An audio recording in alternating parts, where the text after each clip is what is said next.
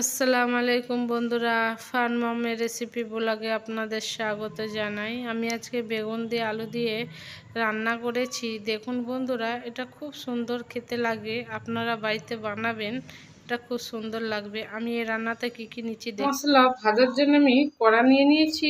এর মধ্যে তিন চামচ আমি গোটা ধনে দিয়ে দেবো।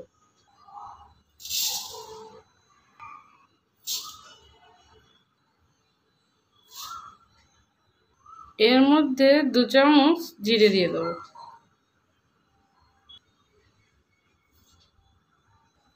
গোটা ধনে জিরে আমি কিছুক্ষণ ভেজে নেব। দেখুন বন্ধুরা, দুটো মশলা আমি কিছুক্ষণ ভেজে নিয়েছি, বেশি ভাজবো না, হালকা করে ভেজে নেব। এবার আমি গ্যাসটা বন্ধ করে দেবো। এবার আমি এটা বাটিতে ঢেলে নেব।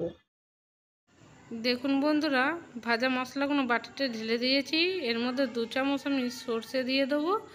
গোটা সর্ষে, দু চামচ আমি লঙ্কা গুঁড়ো এর মধ্যে দিয়ে দেবো। মিক্সি জারে পিসতে গেলে আমাকে সব মশলা একসাথে দিয়েই পিসতে হবে। এর মধ্যে আমি, জানেন বন্ধুরা, আমার কাছে শিল নেই। শিল শিলনোড়া থাকলে শিলনোড়ার মধ্যেই পিষে নিতাম। মিক্সার জারে পিসতে গেলে সব মশলা দিয়ে দিতে হবে। এক চামচ আমি হলুদ গুঁড়ো দিয়ে দেবো এর মধ্যে। হলুদ গুঁড়ো দিয়ে আমি ভালো করে মিক্সি জারে এটা ভালো করে পেস্ট বানিয়ে নেব। তা তখন আমি আলুটা কড়া নিয়ে নিয়েছি, কড়ার মধ্যে তেল ঢেলে দেবো। তেলটা ভালো করে গরম হয়ে গেলে আমি আলুটা ভেজে নেব।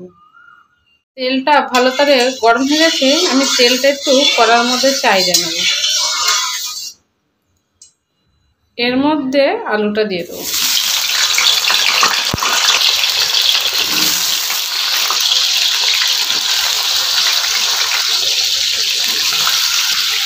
হাফ চামচ নুন দিয়ে আমি আলুটা ভালো করে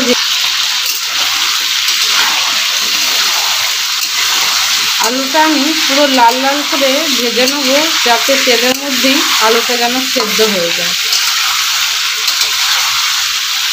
দেখুন বন্ধুরা, আলুটা ভালো করে ভাজা হয়ে গেছে, আলুটা এরই মধ্যে সেদ্ধ হয়ে গেছে, আমি এবার এটাকে নামিয়ে নেব।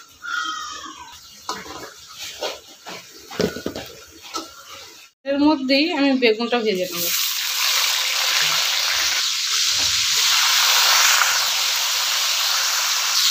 এর মধ্যে হাফ চামচ নুন দিয়ে দেবো। বেগুনটাও আমি ভালো করে ভেজে নেব। দেখুন বন্ধুরা, বেগুনটা আমি ভালো করে ভেজে নিয়েছি, এটা আবার নামিয়ে নেব।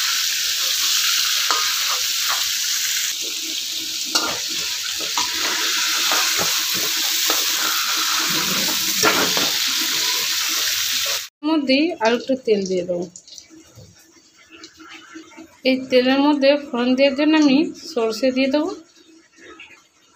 চারটে শুকনো লঙ্কা দিয়ে দেবো।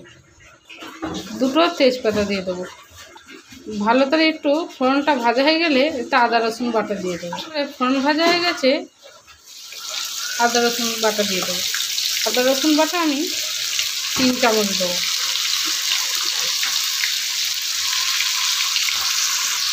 আদা রসুন বাটাটা আমি কিছুক্ষণ ভেজে নেব, ভালো করে। রসুন ভালো করে ভেজে নিয়েছি। এর মধ্যে আগে গোটা মশলাগুলো আমি মিক্সি জারে পিষে নিয়েছিলাম, ওইটা দিয়ে দেবো। মশলাটা আমি ভালো করে কষিয়ে নেব। দেখুন বন্ধুরা, মশলাটা ভালো করে কষিয়ে নিয়েছি। এর মধ্যে টমেটোটা দিয়ে দেবো। এর মধ্যে আমি চারটে টমেটো দিয়েছি।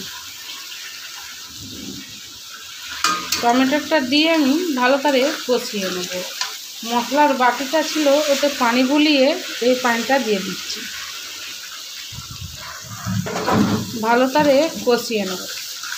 বন্ধুরা, টমেটোটা দিয়ে আমি ভালো করে মশলাটা কষিয়ে নিয়েছি আর দেখুন মশলা থেকে তেলটা ছেড়ে দিয়েছে। এর মধ্যে আমি আলু দিয়ে দেবো।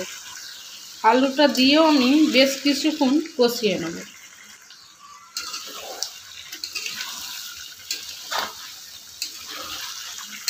এর মধ্যে কিন্তু আমি আর পানি দেবো না। এই তেলের মধ্যেই মশলাটা আমি কষিয়ে নেব।